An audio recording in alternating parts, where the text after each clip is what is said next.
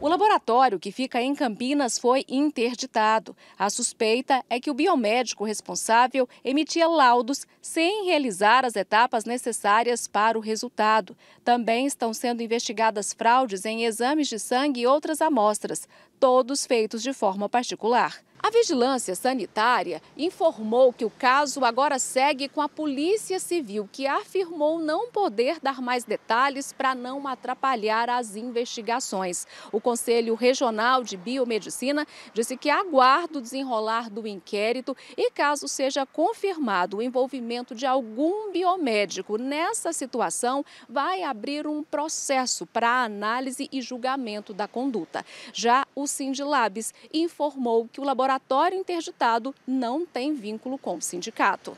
Quando a gente não tem acesso a esse prestador não filiado, não tem como a gente orientar. Né? Não fica sendo da nossa alçada, porque de rotina, você abre um processo na vigilância, tem que aprovar projeto arquitetônico, esse projeto tem vistoria, e só em cima dessas vistorias, desses andamentos, que o proprietário da empresa, de qualquer laboratório banco de sangue, pode estar trabalhando. Então, nada disso foi. Essa advogada, especialista em bioética e biodireito, alerta que as vítimas devem procurar a delegacia do consumidor para registrar denúncia, caso tenham algum prejuízo com o resultado do exame, e também podem entrar com uma ação de reparos na justiça.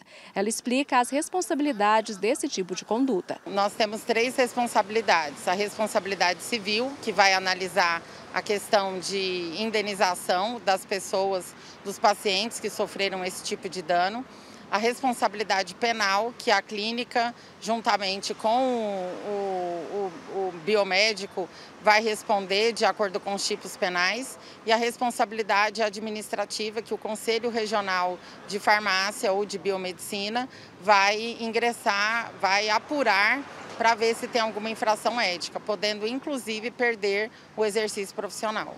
A presidente do Sindlab reforça que, mesmo que o laboratório, cheio de irregularidades, não seja filiado ao sindicato, vai acompanhar o caso de perto. As pessoas que fazem exames no local podem estar sujeitas a grandes prejuízos, como achar que estão bem de saúde diante de um resultado falho. A obrigação de qualquer prestador, e eu falo assim concretamente da rede privada, é manter o máximo de cuidado, porque o nosso foco sempre será o paciente, um exame de qualidade. E é para isso que nós trabalhamos. Então, isso é muito grave, é criminoso e tem que ser combatido sim.